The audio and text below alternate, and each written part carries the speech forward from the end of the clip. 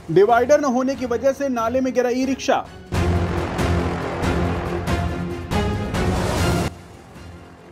बाल बाल बच्ची चालक की जान। अच्छा। शनिवार देर रात फिरोजाबाद के थाना उत्तर क्षेत्र में स्थित रहना नाले में डिवाइडर न होने की वजह से नगला भाऊ की तरफ़ से आ रहे ई रिक्शा चालक वाहन को ओवरटेक करने के वक्त अनियंत्रित होकर ई रिक्शा सहित नाले में जा गिरा।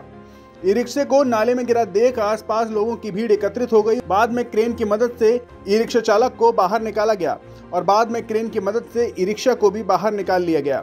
क्षेत्रीय लोगों द्वारा बताया गया कि नाले पर किसी किसी जगह डिवाइडर और प्रकाश की कमी होने की वजह से आए दिन इस प्रकार की घटनाएँ होती रहती हैं।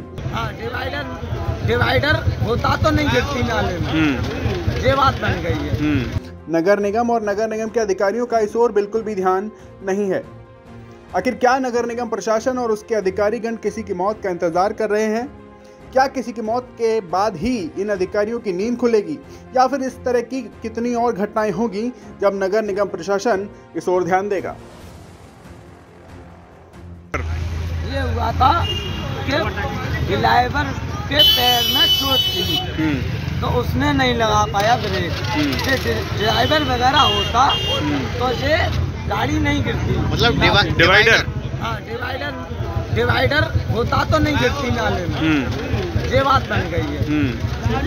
कोई आदमी ओवरटेक में गाड़ी चली गई है। तो ड्राइवर साथ में गिरा था या? हाँ ड्राइवर साथ में गिर गया। अच्छा। भी पैर में चोट है। अच्छा तो ड्राइवर को सिंगल गाड़ी थी। हम्म, सवारी नहीं थी कोई?